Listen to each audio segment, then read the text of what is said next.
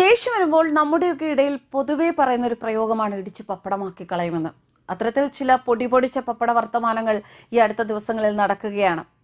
പിണറായി ഓണക്കിറ്റ് തരുന്നു എന്ന് പറഞ്ഞപ്പോൾ മുതൽ പപ്പടം ഒരു വിഷയമാണ് വാർത്തകളിൽ. ഇത്തവണ കിറ്റിൽ പപ്പടമില്ല. പപ്പടമില്ലാതെ ഒരു ഓണസദ്യ സങ്കല്പിക്കാൻ മലയാളിക്ക് സാധിക്കുമോ? പരിപ്പിലേക്ക് പപ്പടം പൊടിച്ചു കുഴച്ച് നെയ്യ് ചേർത്തുരുട്ടി സദ്യ കഴിക്കുന്നത് എന്തൊരു രസമാണ്.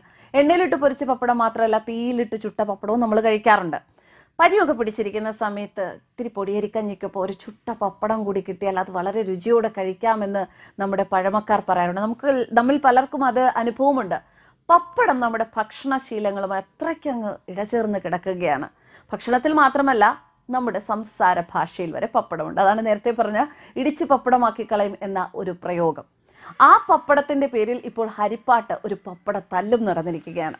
എന്തായാലും പപ്പടത്തിന്റെ ജീവിതം അത് ചെണ്ടയേക്കാൾ കഷ്ടമാണ്. ജനിച്ച അന്ന് തൊട്ട് വളരെയധികം പീഡനം സഹിക്കുന്ന ഒരു ജന്മമാണ് നമ്മുടെ പാവം പപ്പടം. ജീവിതം മുഴുവൻ പൊടിച്ച് കുഴച്ച് അരച്ചുരുട്ടി പരത്തി ഉണക്കി ചുട്ട് കാച്ചി വറുത്ത് പിന്നെയും പൊട്ടിച്ച് പൊടിച്ച് കുടച്ച് ചവച്ച് വിഴുങ്ങി അങ്ങനെ ഒരു ജീവിതം. പപ്പടത്തിന് പേര് പലതാണ്. പപ്പടം പർപ്പടം പർപ്പടകം പപ്പട് പാപ്പട് അപ്പോളു ഹപ്പോളു അപ്പളാം ഹപ്പള പപ്പർ പപ്പറുടെ ഇങ്ങനെ ഇങ്ങനെ ഒരുപാട് വാക്കുകളാണ്. പപ്പടമില്ലാത്തൊരു സദ്യ നമുക്കൊരിക്കലും ചിന്തിക്കാൻ പറ്റില്ല. ഇംഗ്ലീഷ് ഭാഷയിൽ തന്നെ പപ്പടത്തിന് പപ്പടമായി സ്വീകരിച്ചു കഴിഞ്ഞു. ചൊല്ലും പഴഞ്ചൊല്ലും പ്രിയവും പ്രയോഗവുമായി മലയാളം പോലെ കേരളത്തിന്റെ ശ്രേഷ്ഠമായ സ്വത്ത് തന്നെയാണ് പപ്പടം. ഞെട്ടില്ല വട്ടയില്ല എന്ന കടങ്കഥയിൽ തുടങ്ങി ഇടിച്ചു പപ്പടമാക്കുമെന്ന പ്രയോഗം വരെ മലയാളത്തിൽ ഉണ്ട് എന്ന് പറയുമ്പോൾ അത്രമാത്രം മലയാളവുമായി ഇഴചേർന്ന പപ്പടം മലയാളിയുടേത് അല്ല എന്നുള്ളതാണ് സത്യം. തമിഴകത്ത് നിന്നാണ് മഹാരാഷ്ട്രയിൽ നിന്നാണ് രാജസ്ഥാൻ തുടങ്ങിയ വടക്കൻ പ്രദേശത്ത് നിന്നാണ് പപ്പടം കേരളത്തിൽ എത്തിയത് എന്നൊരു പറച്ചിലുണ്ട്. എന്താണ് എന്ന് നമ്മൾ നമുക്കറിയില്ല. എന്തായാലും പപ്പടം നമുക്ക് വളരെയധികം പ്രിയപ്പെട്ട ഒന്ന് തന്നെയാണ്. എവിടെ നിന്ന് വന്നാലും. കേരളത്തിൽ പ്രധാനമായും രണ്ട് തരത്തിലാണ് പപ്പടം. കാര്യമായ അധിക ചേരുവകളൊന്നുമില്ലാതെ എന്നാൽ എണ്ണയിൽ കാച്ചുമ്പോൾ പൊള്ളിപ്പൊന്തുന്ന പണ്ടാര പപ്പടം എന്നതും എരിവും എണ്ണമയവും കൂടിയ കൊങ്കിണി പപ്പടം എന്നതും. കാലക്രമേണ കേരള തനിമയായി ഗുരുവായൂർ പപ്പടം എന്നൊരു ബ്രാൻഡ് തന്നെ നമുക്കുണ്ട്. എന്നാലോ ഗുരുവായൂർ പപ്പടം ഗോവയിൽ നിന്നെത്തിയ കുടുംബി സമുദായത്തിന്റെ സംഭാവനയാണ് എന്നാണ് ഒരു അഭിപ്രായം. പക്ഷെ ഗുരുവായൂരിലെ പപ്പടത്തേക്കാൾ വൈശിഷ്ട്യം എറണാകുളം തൃപ്പൂണിത്തുറ ഭാഗത്തെ പണ്ടാര പപ്പടത്തിനാണ് എന്ന് പപ്പടപ്രിയരായ ചില ആൾക്കാർ പറയാറുണ്ട്. വലിയ പപ്പടം ചെറിയ പപ്പടം കുട്ടിപ്പപ്പടം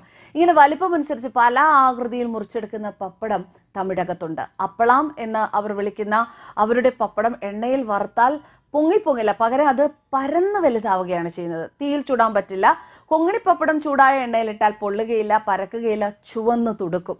തീയിൽ ചുടാനും അത് നല്ലതാണ്. പഞ്ചാബി പപ്പടം ഉണ്ടല്ലോ അത് നമുക്ക് ചുട്ടെടുക്കാനാണ് ഏറ്റവും നല്ലത്. കേരള പപ്പടമാണ്. ചുടാനായാലും കാച്ചാനായാലും തോരനാക്കാനായാലും പലഹാരമാക്കാനായാലും എല്ലാത്തിനും ഒരുപോലെ ഉത്തമം. പ്രാഥമികമായി ഉഴുന്നുപൊടിയും പപ്പടക്കാരും ഉപ്പും അല്പം എണ്ണയും പരത്താൻ മാത്രം അരിപ്പൊടിയും ഒക്കെ ഉപയോഗിച്ചുണ്ടാകുന്ന വെറും പപ്പടത്തിന് മുളക് പപ്പടം കുരുമുളക് പപ്പടം ജീരക പപ്പടം വെളുത്തുള്ളി പപ്പടം മസാല പപ്പടം ഇങ്ങനെയൊക്കെ ഭാഷ്യങ്ങളുണ്ടായി. ഇതുകൂടാതെ അരിപ്പപ്പടമുണ്ട് കൊള്ളിപ്പപ്പടമുണ്ട് ചക്കപ്പപ്പടമുണ്ട് ജവരി പപ്പടമുണ്ട് അങ്ങനെ പലതും ഉണ്ട് ഇന്നിപ്പോൾ വാഴയ്ക്ക പപ്പടമുണ്ട് പാവയ്ക്ക പപ്പടമുണ്ട് മധുരക്കിഴങ്ങ് പപ്പടമുണ്ട് അങ്ങനെ അങ്ങനെ പപ്പട വിശേഷങ്ങൾ ഒരുപാടാണ് നമ്മൾ പപ്പടത്തിന്റെ പിന്നാലെ പോവുകയാണ് എങ്കിൽ.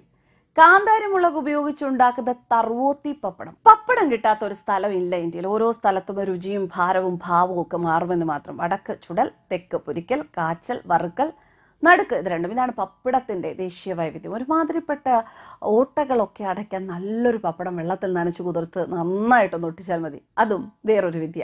അങ്ങനെ പറയുമ്പോൾ നമ്മുടെ പപ്പടം ഒരു സകലകലാ വല്ലഭനാണ് എന്നുകൂടി പറയേണ്ടി വരും. News desk കർമാനസ്